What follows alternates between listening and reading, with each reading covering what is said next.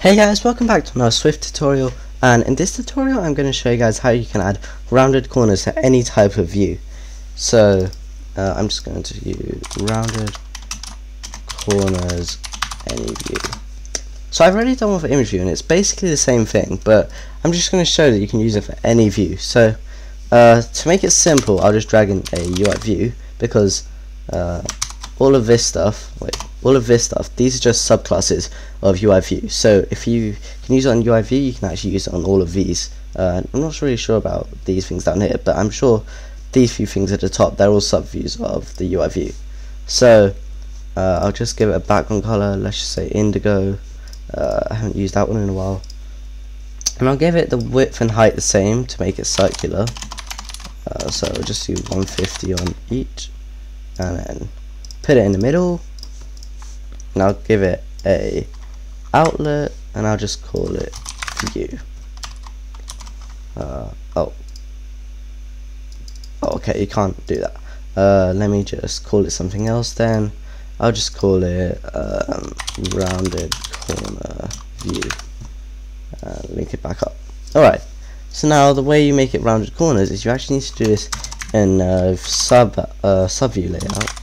Uh, so view did layout subviews and then super dot view did layout subviews. And inside of this you can just do round corner view dot layer dot corner radius. The way you make it a perfect circle is you have to get the height of it. So round corner view dot frame dot height. Then you divide back by two and that's how you get a perfect circle.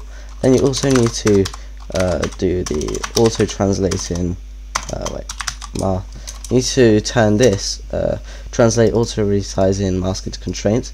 This basically makes sure that nothing goes outside of the actual uh, mask and turn it on to true so now if I run this we should have a rounded point of view. Yeah. So uh, I can use this as a button. So uh, wait let me try and improve this by deleting that. Or I'll just use a label because that's probably easier. So put that label in the center uh, and I'll actually make it a bit bigger since otherwise you won't be able to tell. So let's give it a, a background of green again or I'll just give it indigo again. Indigo and we'll just make the text in the middle. Okay then we will copy this make it a UI label instead and oh uh, let me scribble this out. Right and let me just uh, link that up. And now we should have a label with rounded corners. Oh um,